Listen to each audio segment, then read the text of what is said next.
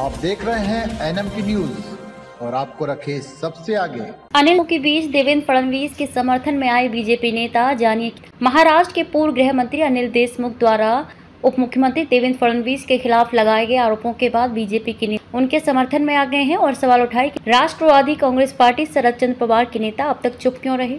देशमुख ने हाल ही में दावा किया था कि फडणवीस जब नेता प्रतिपक्ष थे तो उन्होंने तत्कालीन मुख्यमंत्री उद्धव ठाकरे, कैबिनेट मंत्री आदित्य ठाकरे और यहाँ तक कि पूर्ववर्ती महाविकास आघाड़ी सरकार में उप मुख्यमंत्री रहे। अजित पवार के खिलाफ हलफनामे पर हस्ताक्षर करने के लिए उन पर दबाव बनाने की कोशिश की थी। पीटीआई के अनुसार शरद पवार के करीबी देशमुख ने यह भी दावा किया कि जब फडणवीस गृह मंत्री थे, तब एक बिचौली ने कथित तौर पर उन्हें फडणवीस का संदेश पहुँचाया था।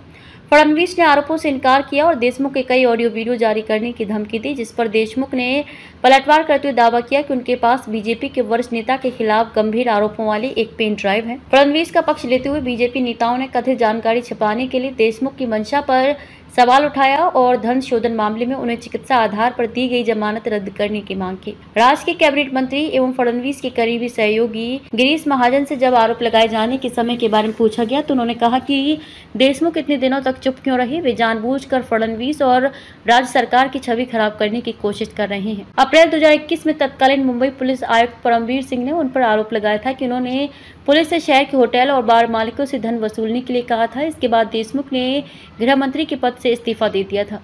बीजेपी के विधान पार्षद प्रणय फोके ने कहा कि देशमुख चिकित्सकीय आधार पर जमानत पर जेल से बाहर आए हैं, लेकिन फडणवीस के खिलाफ उनके तीखे हमले को देखते हुए उनकी जमानत रद्द कर दी जानी चाहिए और उन्हें वापस जेल भेज दिया जाना चाहिए। फुके ने कहा कि ये राज्य सरकार की छवि बिगाड़ने का प्रयास है। हालाँकि देशमुख के बेटे सलिल देशमुख ने दावा किया कि उनके पिता को जमानत इसलिए दी गई क्योंकि धन शोधन मामले में उनके खिलाफ कोई सबूत नहीं था। बीजेपी के वरिष्ठ नेता और कैबिनेट मंत्री चंद्रकांत पाटिल ने भी महाजन की बात दोहराई कि उन्होंने किस तरह का एनर्जी ड्रिंक पीना शुरू कर दिया है, जिससे वे इस तरह की बातें करने लगी। अगर उनके पास ऐसी धमाकेदार जानकारी थी तो देशमुख को पहले ही इसे सार्वजनिक कर देना चाहिए था। नवनिर्वाचित विधान पार्षद सदाभाव खोत ने कहा कि देशमुख ने सत्ता में रहते हुए मामला क्यों नहीं दर्ज कराया? खोत ने कहा कि देशमुख के दावों के अनुसार फडणवीस की ओर से एक व्यक्ति ने उनसे कई बार मुलाकात की। अगर वे कुछ गलत कर रहे थे तो देशमुख को उनके खिलाफ मामला दर्ज कराना चाहिए था। उस समय वह सत्ता में थे। शिवसेना विधायक संजय सिरसाट ने कहा कि देशमुख नई कहानी गढ़ रहे हैं।